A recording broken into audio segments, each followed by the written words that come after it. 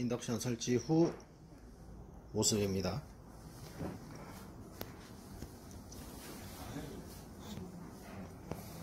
최선을 다해서 작업을 하고 철수합니다. 가공 완료 후 모습.